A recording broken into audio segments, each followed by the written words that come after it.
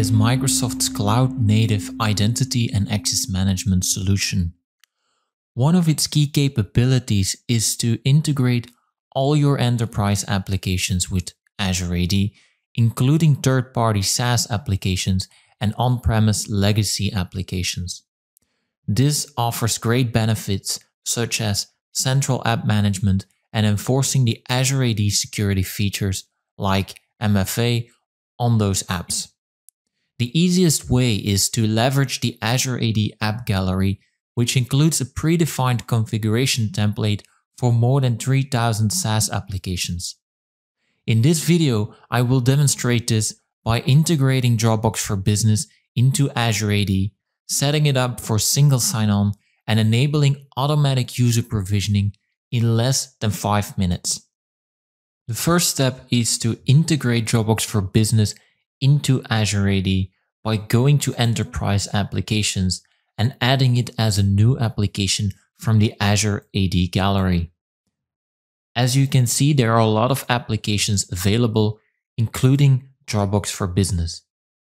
When we click on it, you'll see that there is a step-by-step Dropbox for Business integration guide available, which is the case for most of applications that we offer in the gallery. It will also show the single sign-on modes that are supported and if user or group provisioning is supported. Once the application has been added, we can already assign users or groups that should have access to this application. For this demonstration, my demo user will be Flora Scott. So Flora Scott will have access to this application once it's all set up. In step two, we are going to set up single sign-on. Dropbox for Business supports SAML single sign-on. If we choose this option, then we will be shown a step-by-step -step workflow that will guide us through this configuration. Here in step 2, we will provide the basic SAML configuration. As you will notice, because this is a template, most of it is already done. So here we will have to provide some information and that information can also be found in the tutorial that we provide.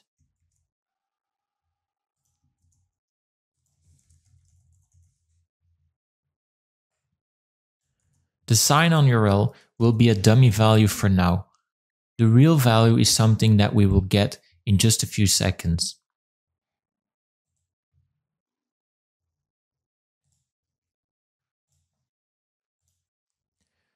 In step 3, you can configure the user attributes and claims. For this template, this is already configured, but you can still modify it if that would be needed. In step 4, you can find the SAML signing certificate if you would like to download it, as well as in step 5, you can find the configuration URLs if you want to do the single sign-on configuration yourself on the side of Dropbox for Business.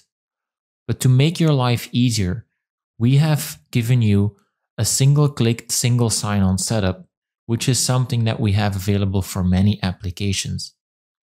Basically, here Azure AD is going to do the configuration for you. So if we click on this, it's going to ask you to confirm or to download the certificate for the SAML setup. And it will then bring you to the admin console in Dropbox for Business to start this setup. So we click yes to start it and it will automatically configure everything. I'm not touching my mouse. Now it will ask you to upload this certificate that we just downloaded.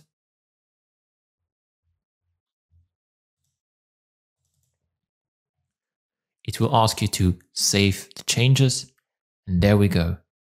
Single sign-on has been successfully configured. The custom sign-on URL has been copied to your clipboard. So this final link, this final value that we were still looking for, it has copied it. It will now also automatically redirect to Azure AD where we left off. And all that's left to do is change this dummy value here in the beginning with this copied value, save it, and done. So we have now successfully configured single sign-on. All that's left to do now is step 3, enabling user provisioning. This is also something that will happen very efficiently and quickly. Basically, we click automatic. We go to admin credentials where we authorize Azure AD to access the Dropbox for Business API. So we do a simple authentication here.